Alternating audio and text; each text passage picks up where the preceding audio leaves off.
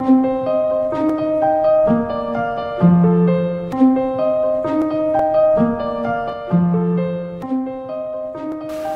I'm Christopher Isle of Milestone Systems.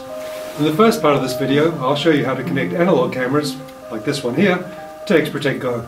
And at the end of the video, I'll show you how easy it is to integrate XProtect Go with an analog CCTV system, so they run in parallel, which is a really good way of evaluating the benefits of using an IP VMS. But let's start by looking at the difference between an analog and an IP-based CCTV system.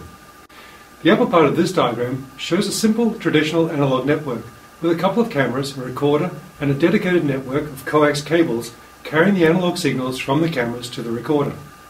Underneath is the corresponding IP video solution.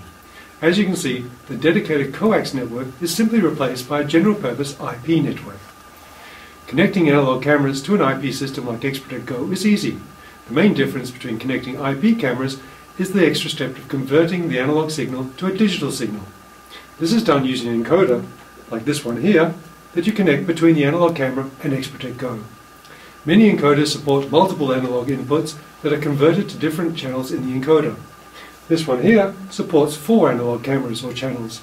There are others that support up to 32 and 40 channels in one unit.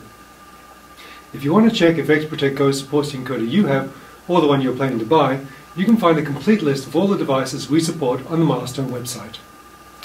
Before you can start connecting the analog cameras to XProtect Go, you need to make sure the various network components are connected correctly on the network level. Here's a closer look at the basic setup, with the encoder used as a bridge between the analog cameras, the IP network, and the PC that is running your XProtect Go software. IP addresses are used to manage the communication in the data network and the communication between the PC and the encoder.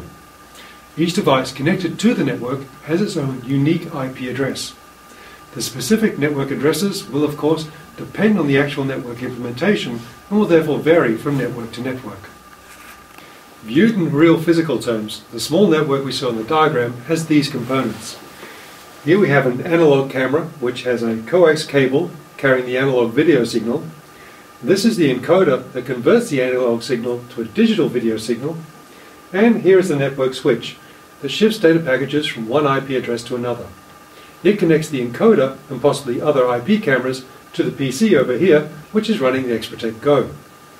When you connect the encoder, it is important you have the right IP address settings, otherwise XProtect Go will not be able to communicate with the cameras. This means you may need to change the encoder's default IP address so it can connect on your network. There's no standard way of doing this, so it's simply a question of following the instructions provided by the encoder's manufacturer. Most encoders also have built-in configuration possibilities, and again, you'll have to follow the instructions provided by the manufacturer if you want to change these.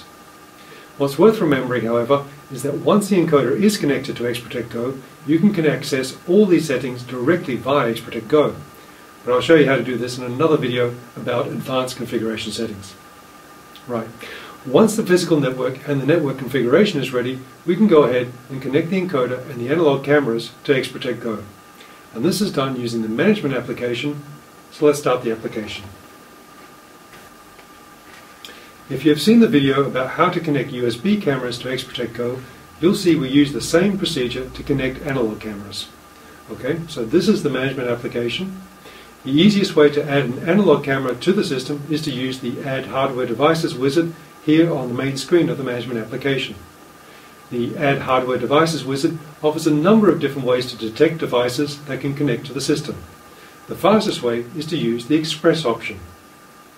Once the scanning is completed and all devices have been detected by the system, you can decide which devices you actually want to enable in the system and assign names to these. XProtect Go uses the manufacturer's default user and password credentials to access the encoder. If you have changed these settings, you'll need to provide this information to get the camera verified and accepted by the system. A smart automatic name generation function lets you quickly name the cameras so you can easily remember which is which. Here we want to use a naming convention that lets us define a custom text followed by the IP address of the device, device type, and a sequence number. You can also name your devices manually on an individual basis. So now your IP cameras are connected and you can complete the wizard by clicking Finish. After that, you can close the management application, and when you do that, you'll be prompted to save your changes. And that's all it takes to add analog cameras to XProtect Go.